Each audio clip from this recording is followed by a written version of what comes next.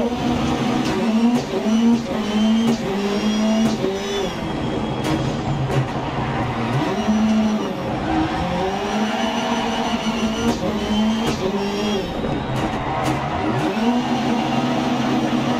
and do not forget